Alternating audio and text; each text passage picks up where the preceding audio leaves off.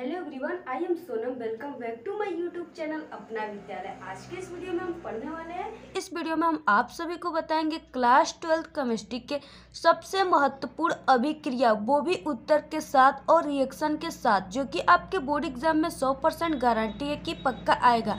तो आपको वीडियो को बिना स्किप किए लास्ट तक देखना है, तभी आपको वीडियो समझ में आएगा। अगर आप चैनल पे नए हैं तो चैनल को प्लीज़ सब्सक्राइब कर दीजिए और वीडियो को लाइक कर दीजिए और शेयर करना बिल्कुल ना भूलें।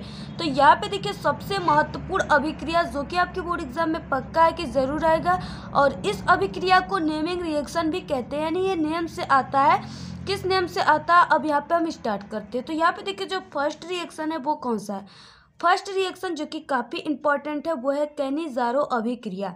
तो सबसे पहले हम कैनिजारो अभिक्रिया किसे कहते हैं? क्योंकि ये भी आता है आपके बोर्ड एग्ज़ाम में। तो कैनिजारो अभिक्रिया का सबसे पहले हम डेफिनेशन देखेंगे, फिर उसके बाद इसकी रिएक्शन बिल्कुल बारीकी से देखेंगे।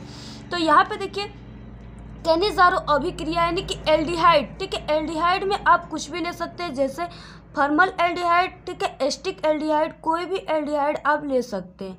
तो यहाँ पे एल्डिहाइड के दो अणु का, यानी कि कितने अणु? दो अणु रहेंगे।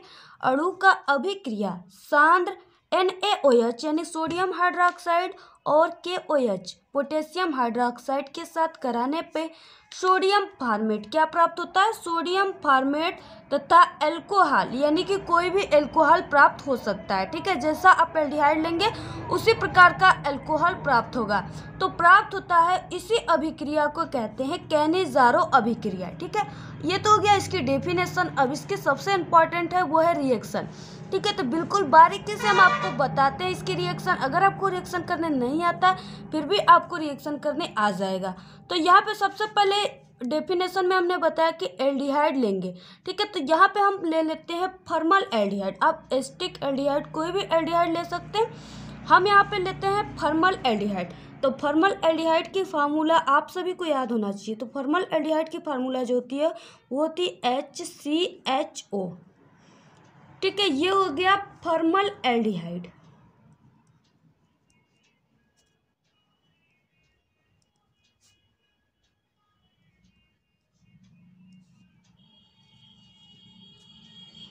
यहाँ पे हमने फर्मल एल्डिहाइड ले लिया। तो यहाँ पे देखिए, सबसे इंपॉर्टेंट बात है कि फर्मल एल्डिहाइड के दो अड़ुओं को आपको लेना है। तो यहाँ पे हम फर्मल एल्डिहाइड के यहाँ पे दो कर दिए तो ये क्या हो गया? फर्मल एल्डिहाइड के दो अड़ु हो गए। और प्लस यहाँ पे क्या हो गया? एन ए आप सोडियम हाइड्रोक्साइड या पोटेशियम हाइड्रोक्साइड यानी कि इसमें से कोई एक को लेना है। तो हमने यहाँ पे जैसा कि एन ए ओ एच को ले लिया, ठीक है? ये जो होता है ना एन या सोडियम हाइड्रोक्साइड ये क्या होता है? ये कैनिजारो का पहचान होता है, यानी कैनिजारो अभिक्रिया में एन ए ओ एच ही लिया जाता है। फिर उसके बाद देखिए, अब यहाँ पे करते इस तरीके से एरो क्योंकि रिएक्शन को करने के लिए तीर के निशान को लगाते अब देखिए, जो प्राप्त होगा वो है सोडियम फार्मेट तो सोडियम फार्मेट की फार्मूला आपको याद होनी चाहिए। H C double O N A ठीक है? तो ये क्या हो गया? Sodium formate.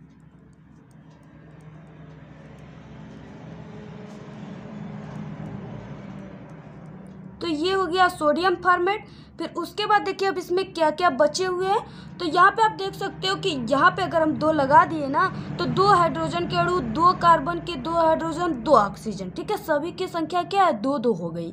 तो यहाँ पे देखिए हमने तो सिर्फ़ एक ही हाइड्रोजन को यूज़ किया जो कि यहाँ पे है।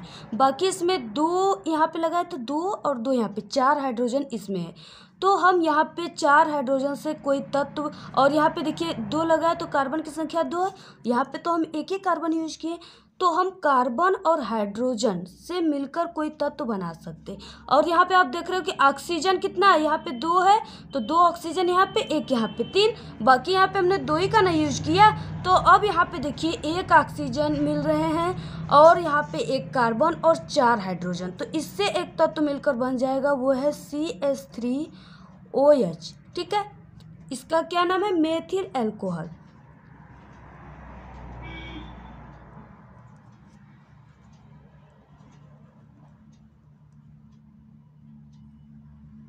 तो यहाँ पे एक तत्व प्राप्त हो गया मेथिल अल्कोहल ठीक है? आप लोग यहाँ पे, हमने बताया कि चार हाइड्रोजन है, एक ऑक्सीजन है और एक कार्बन तो यहाँ पे आप देख रहे हैं तीन हाइड्रोजन यहाँ पे, एक यहाँ पे चार, एक ऑक्सीजन एक कार्बन तो इस तरीके से जो रिएक्शन है वो बैलेंस भी है और यहाँ पे बिल्कुल पूर्ण हो गया ठीक है? तो इस तरीके से आपको रिएक्शन करना है तो यहाँ पे फॉर्मल एल्डिहाइड से हमने क्या किया? सोडियम फार्मेट को प्राप्त कर लिया, यही होता है कैनिजारो अभिक्रिया। फिर उसके बाद देखेंगे नेक्स्ट रिएक्शन और इसी तरह आपको डेली अगर रिएक्शन देखना है, क्योंकि हमारे अपना विद्यालय यूट्यूब चैनल पर क्लास ट्वेल्व के आल सब्जेक्ट की स्टडी होती है, ठीक है? तो आप लोग चैनल को सब्सक्राइब ज़रूर कर दीजिए। फिर उसके बाद देखिए नेक्स्ट जो इम्पोर्टेंट रिएक्शन है, और फ़िलहाल मेरे चैनल पे कई नेमिंग इंपॉर्टेंट रिएक्शन की वीडियो अपलोड है और डेली केमिस्ट्री के इंपॉर्टेंट क्वेश्चन के भी वीडियो अपलोड होते हैं। अगर आप नहीं देखे तो चैनल पे वीडियो अपलोड है, वहाँ से आप लोग जाकर देख सकते हैं। नेक्स्ट है, काफ़ी इंपॉर्टेंट जो आपके बोर्ड एग्ज़ाम में हंड्रेड परसेंट गारंटी की ज़रूर आएगा वो है स्मीट अभिक्रिया। तो यहाँ पे देखिए स्मीट अभिक्रिया पहले जानेंगे किसे कहते फिर उसके बाद इसका रिएक्शन जानेंगे। तो यहाँ पे देखिए कार्बोक्सिलिक ठीक है जी क्या लिखा है कार्बोक्सिलिक ठीक है कार्बोक्सिलिक अम्ल सांद्र H two S O four यानी कि तेजाब एल्कोहल ठीक है? ये क्या है? सांद्र है, ठीक है? तो सांद्र H two S O four की उपस्थिति में हाइड्रोजोइक अम्ल, यानी कि जो स्मीट अपक्रिया है ना, उसकी जो पहचान होती है वो एन थ्री एच यानी हाइड्रोजोइक अम्ल से होती है, ठीक है?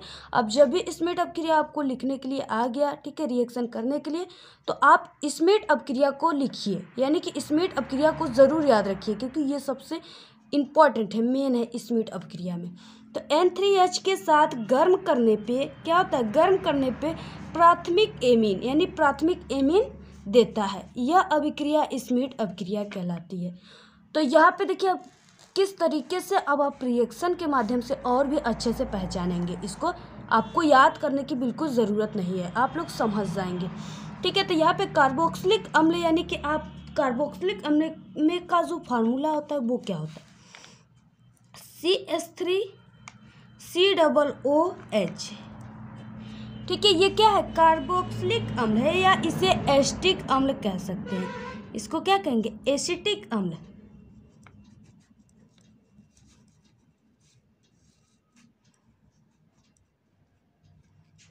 तो यहाँ पे हमने एसिटिक अम्ल ले लिया, और प्लस यहाँ पे हमने बताया एन थ्री एच यानी हाइड्रोजोइक अम्ल। ठीक है, क्या?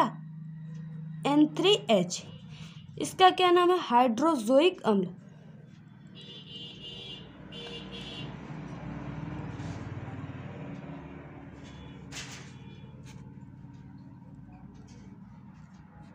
हाइड्रोजोइक अम्ल, ठीक है? फिर उसके बाद हम इसको क्या करेंगे?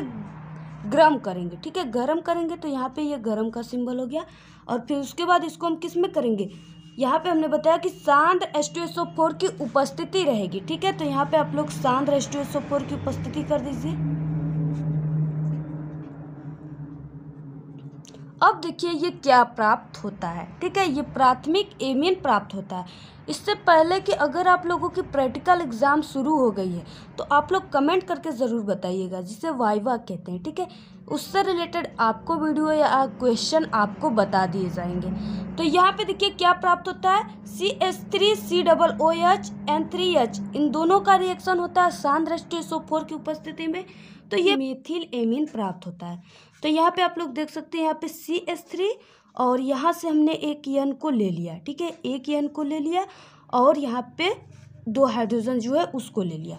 तो यहाँ पे सी एस थ्री और यहाँ पे एन एच टू और यहाँ पे आप लोग सिंपली पहले यहाँ से निकाल लीजिए, यहाँ से क्या सी ओ टू निकल जाएगा। क्या निकल जाएगा?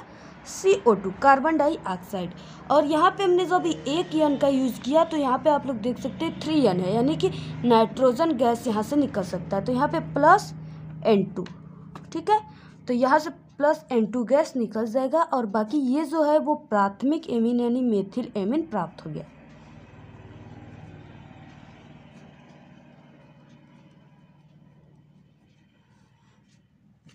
तो यहाँ पे देखिए इस तरीके से ये रिएक्शन भी क्या है? बैलेंस है और संपूर्ण हो गया, यानी पूर्ण हो गया।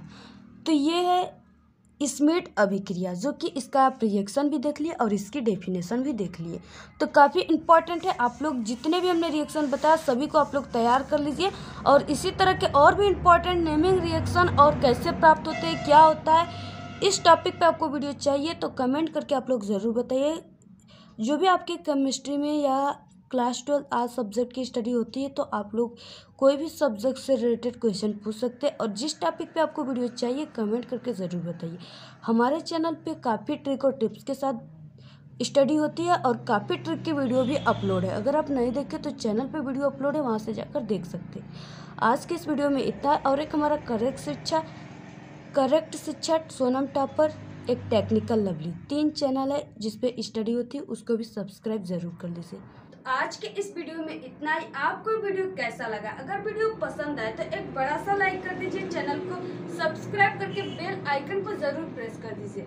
कमेंट करना बिल्कुल ना भूले। Thank you all the very best bye bye